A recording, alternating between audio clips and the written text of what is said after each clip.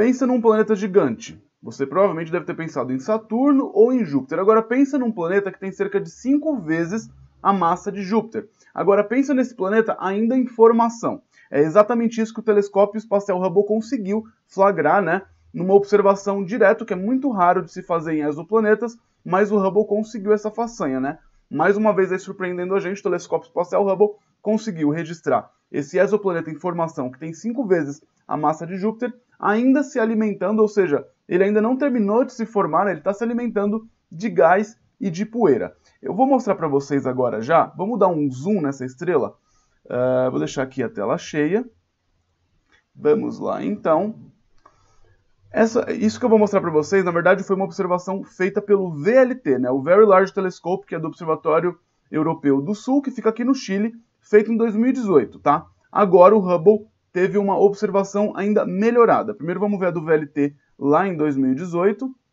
Ó, a gente está dando um zoom numa, numa posição ali do céu, bem específica, tá? Esse é o exoplaneta PDS-70b. Até hoje são mais de 4 mil exoplanetas descobertos, ou seja, planetas girando em torno de suas estrelas, porém é muito difícil conseguir pegar um planeta desse é, com observação direta, porque o brilho da estrela, olha como é difícil você conseguir ofuscar, tá? Essa foi a observação do VLT. Vamos dar uma pausa aqui para a gente ter uma ideia, né? Aqui é um coronógrafo, ou seja, uma, uh, é como se fosse um, um, bloqueador ali do brilho da estrela. Então, o papel dele é bloquear aquela iluminação toda da estrela para a gente conseguir ver o que está muito próximo da estrela e que tem um brilho muito mais fraco do que ela. Né? No caso, essa é a estrela hospedeira desse, desse exoplaneta, que é a PDS 70. Tá? São mais de 4 mil exoplanetas descobertos até hoje, só que de todos eles, só mais ou menos uns 15 conseguiram ser observados diretamente mesmo, né? Com um telescópio. E não com instrumento, não de forma assim, ah, tem uma oscilação ali de, de brilho na estrela que acontece a cada tanto tempo, então a gente sabe que está tendo ali uma, uma órbita ali, acontecendo a órbita de um planeta. Não, no caso é uma observação direta. O planeta, no caso, é esse aqui, a estrela está aqui. Parece que está pertinho, pessoal, mas não está, tá? Esse planeta ele orbita sua estrela, que é uma anã laranja, numa distância equivalente a de Urano até o nosso Sol. Longe pra caramba, né? E o que é difícil de conseguir fazer esse tipo de observação é justamente isso. A distância grande que as estrelas estão da gente, né? Ah, todas elas a não ser o nosso Sol, que ele está pertinho, mas é a nossa estrela. Agora, todas as estrelas que estão no céu, elas são muito distantes daqui, né? Elas estão longe pra caramba e você conseguir bloquear o brilho dela a ponto de conseguir ver o que está ali do ladinho dela, né? É difícil pra caramba, é uma façanha, né? O Hubble agora ele conseguiu. Agora eu vou mostrar para vocês a imagem do Hubble, tá? Vamos lá então, que é esta daqui. Olha isso.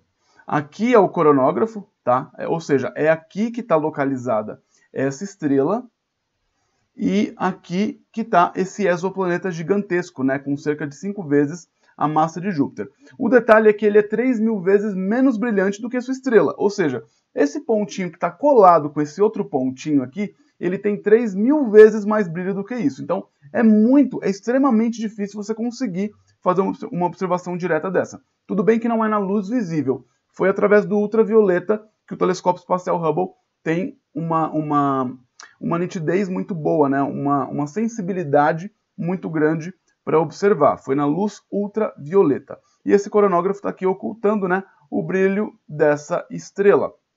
Essa estrela, por sua vez, né, que é a PDS-70, ela abriga dois planetas. Esse é um deles, que é o PDS-70b. Tem também o PDS-70c, mas agora a gente está falando do B, que é o que está mais próximo. Tá? Esse sistema aqui está a 370 anos-luz de distância na direção da constelação de Centauro, ou seja, ali bem próximo do Cruzeiro do Sul, tá?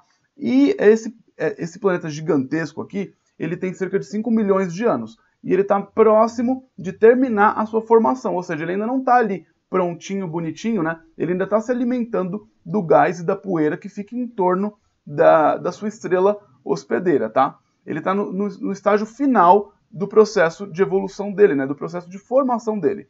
E aí o Ifan Zhu, da Universidade de Texas, disse assim, né, abre aspas, esse é o exoplaneta uh, mais jovem já fotografado pelo telescópio espacial Hubble, porque o Hubble já conseguiu fazer outras observações parecidas, mas não de um sistema tão novo, né? não de um exoplaneta tão novo assim, com apenas 5 milhões de anos. Parece muito 5 milhões?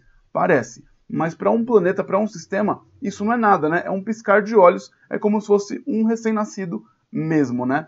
E o interessante também que os cientistas disseram é que esse sistema PDS 70, né, da estrela PDS 70, é como se fosse um laboratório de formação, né? A gente está conseguindo uh, entender melhor como que acontece a formação de planetas gigantes como Júpiter, por exemplo, né? Entender a formação desse planetinha, planetinha entre aspas, né? Porque ele tem cinco vezes a massa de Júpiter, mas entender a formação desse exoplaneta aqui é entender como aconteceu a formação de Júpiter, de Saturno, de Urano e de Netuno, por exemplo, né? E por que não também dos planetas terrestres? É que aí, planeta terrestre, né? Ou seja, planeta rochoso mesmo, é muito mais difícil da gente conseguir fazer observação, por quê?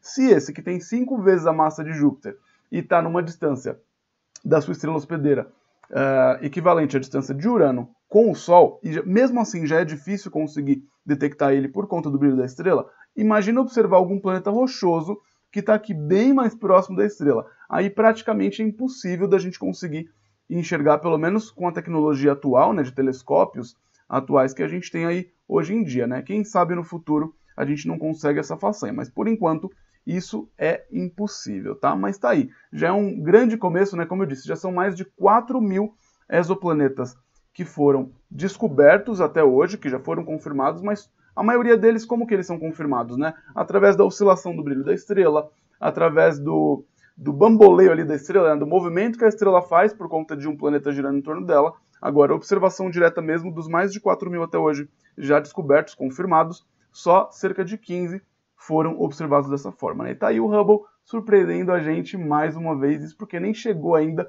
o telescópio espacial James Webb, que já está aí praticamente prontinho, né? Inclusive teve uma abertura do espelho dele, a última abertura do espelho dele aqui na Terra, antes dele ser lançado para o espaço, tá? Imagina quanta coisa nova a gente não vai ver uh, daqui para frente, né? E se você gostou do vídeo, não esquece de deixar o like, de se inscrever no canal e de ativar o sininho para receber as notificações e não perder nenhum vídeo novo. Segue a gente nas redes sociais, Twitter, Facebook Instagram. Todos os links estão aqui ó, na descrição do vídeo e também num comentário fixado aqui embaixo. Vejo vocês no próximo vídeo e até mais, pessoal. Valeu, tchau, tchau!